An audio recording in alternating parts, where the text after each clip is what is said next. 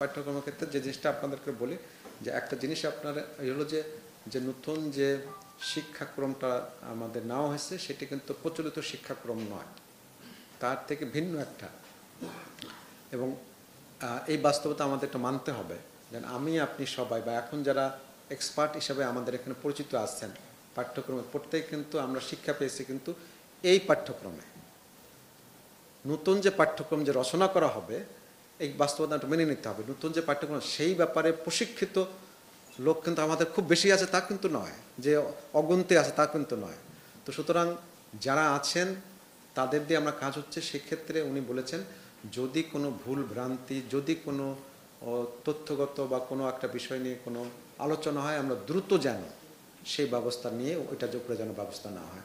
যিনি বলেছেন যে কোনো বিলম্ব কারণ যদি কারও নজরে কোনো কিছু আসে, কারণ এটা এখন যেহেতু নতুন একটা কারিকুলাম হচ্ছে যারা করছেন তাদের মধ্যে থেকে যদি কোনো রকম কোনো ভুল ত্রুটি বা কোনো গ্যাপ তৈরি হয় কোনো আলোচনা হয় তাহলে ওটা যেন মানে যথাযথভাবে পর্যালোচনা করে এ ব্যাপারে যেন দ্রুত ব্যবস্থা না হয় সেটা উনি বলে ব্যাপারে সতর্ক সবাইকে সজাগ থাকতে বলেছেন। এখন যে মিয়ানমারে যে যুদ্ধ পরিস্থিতি তারিখে আজ বাংলাদেশে লেগেছে? এটি নিয়ে কোনো আলোচনা আসতে এসেছে কিনা স্যার? ওইটা নিয়ে কিছু আলোচনা হয়েছে কিন্তু সেটা এটা আপনাদের সাথে শেয়ার করার মতো না।